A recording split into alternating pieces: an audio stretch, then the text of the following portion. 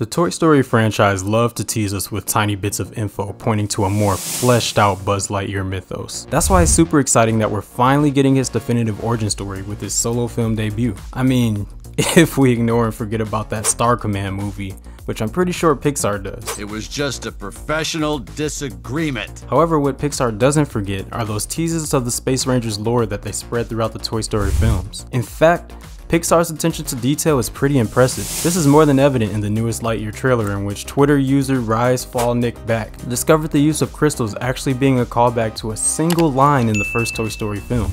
Do people still use fossil fuels or have you discovered crystallic fusion?